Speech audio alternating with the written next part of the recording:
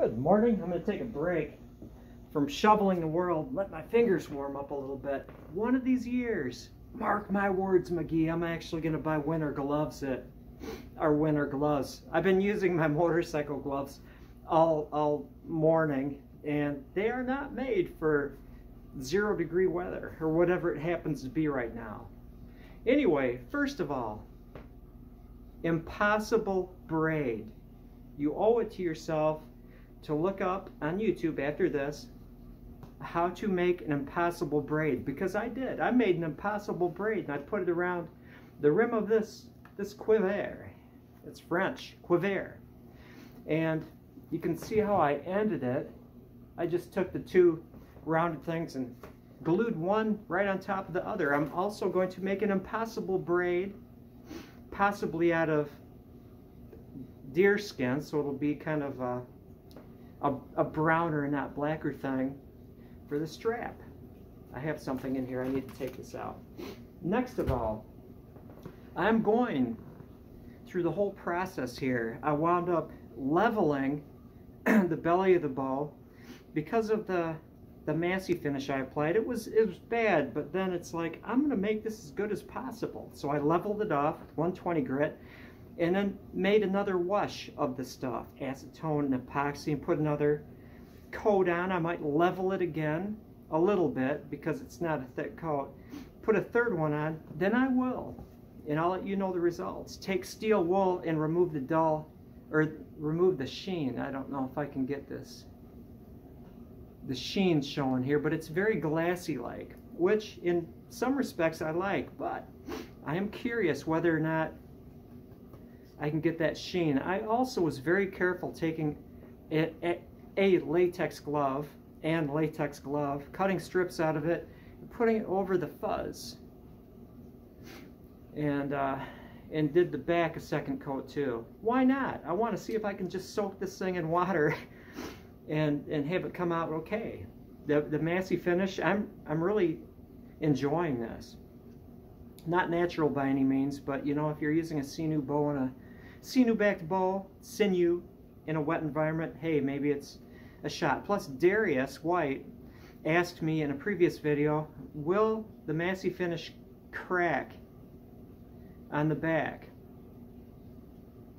I'm going to see. I want to be able to answer that, so I'm also putting it on the back.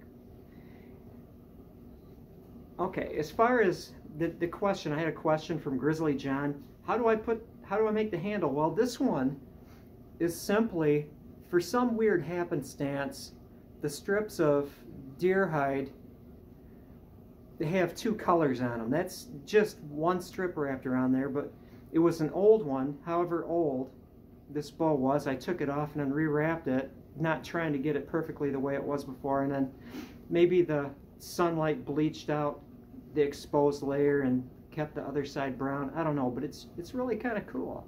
There's no finish on that. That's just deer hide and hand oil. Now, as far as the fur, don't use rabbit. Rabbit is not um, strong enough. It's too delicate to, to last long. The hair will come out and stuff like that. It's just very, very delicate fur. And this is going to get handled a lot. So this, I believe, is some form of weaseloid life. Now, as far as how do you cut this, see that shape right there? This works out so that splice will give it not a butt joint, but a kind of a splicey joint. This is how I cut it. This is the shape with these angles here. Note, don't cut it too short. And so it's best to, to estimate how long you want it and then mark it with your thumbnail or whatever, make an impression, cut it, and then keep slicing it down until it works without having to stretch it.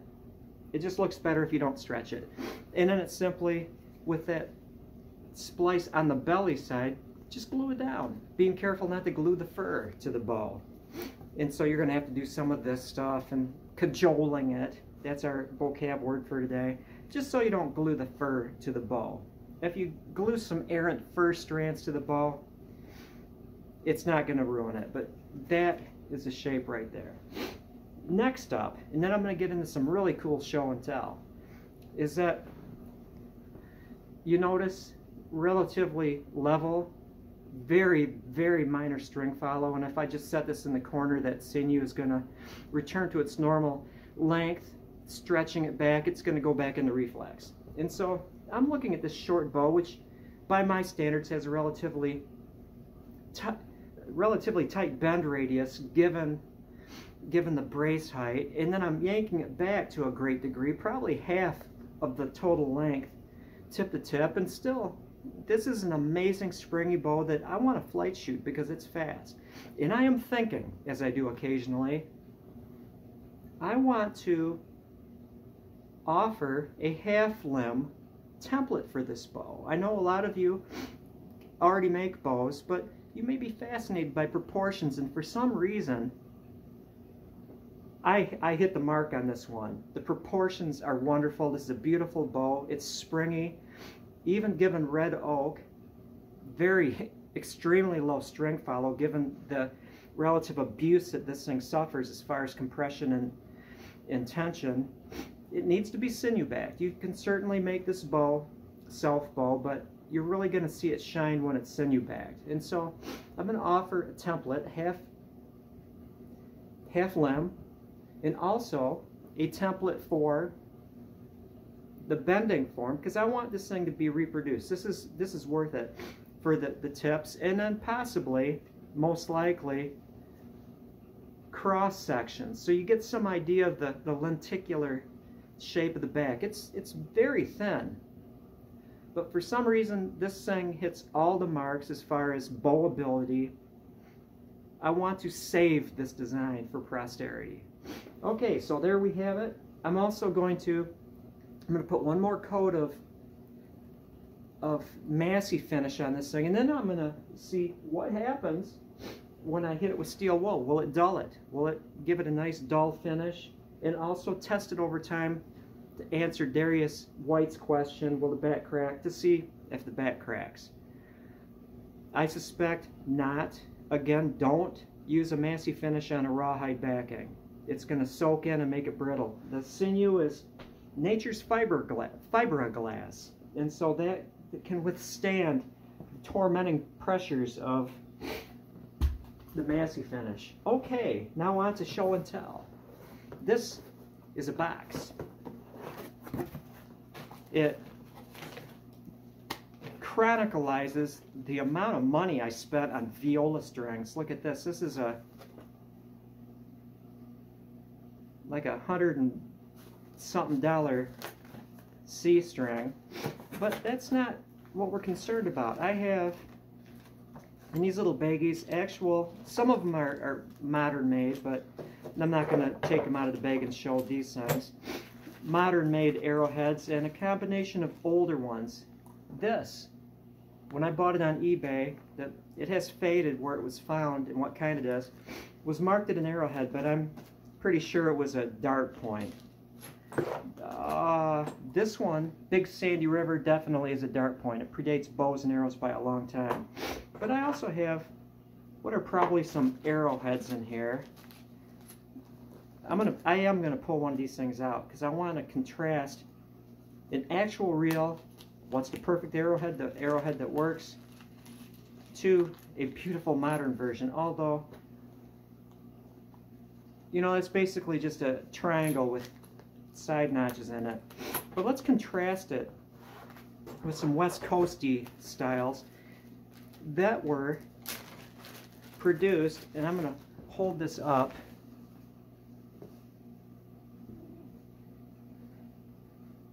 Hopefully that, this is Cody's, Stones and Bones Primitive Arts. Stones and Bones Primitive Arts. I also have an arrowhead made by um, my buddy Warpath Archery. And then this is also reproduction trade point, which I am keeping because I want to reproduce the reproductions, which are reproductions of actual ones. Let's get in here. Now I want you to admire this. This is made by Cody. Let's see what's Cody's last name. Cody Stemler. Sorry, Cody. I kind of blanked out. On you. But look at the notches on that thing. Cody does amazing work. Number two, Cody. I'm putting that there. Another, I'm looking at those notches and it's like, Cody, Cody dude, you make impossible notches. This is, I'm going to jump now. This is made by Warpath. This thing is incredibly sharp. Just like the, the basil kind of a thing, which works. Incredibly sharp. Get a close-up of that thing. Look at that, Warpath. Gee, man, you do work. Okay, now this is... Doo -doo -doo this is another Cody arrowhead. Compared in size to this. And so if, if you're making a reproduction Ishi set, Ishi was demand as far as arrowheads, and you need reproduction Ishi points, Cody Stemler of Stones and Bones. Isn't this thing freaking amazing? And look how, where is the cam? Look how delicate that work is. I'm not putting these things on an arrow to be used, you know. I'm going to go with these little things. So I, I don't mind so much, even though those are actual um, arrowheads made by actual arrowhead makers that lived long, long ago. They're not as delicate. And I wouldn't be as heartsick if I just busted one of those things, even though they're actually authentic, as I would be if I busted one of Cody's arrowheads. Now, as far as one-shot deals, you're, you're actually hunting, you know, and you want to make sure you've got a one humdinger, pardon my French, of an arrowhead, arrow point. Both Cody's and G's arrowheads are going to guarantee if you hit the right spot, they are going to do wicked things to whatever you shoot. And so in that way, the, uh, the expenditure of time and skill would matter for a single shot. How much meat can you get off a single deer? You know, a doe, if it's if she's not a huge doe, maybe 40 pounds, 40, 50 pounds, that's not a lot compared to a lot of moose meat, a lot of elk meat, but that's that's a lot of meat. 30, 40 pounds is a substantial amount of meat that'll keep you going for a while. That is my story. I am sticking to it. You will remember. You will remember the name Warpath Archery, and you will remember because G will make arrowheads for you if you want them. You will remember the name Cody Stemler. Cody, Cody Stemler. You'll remember how to do the fur on that.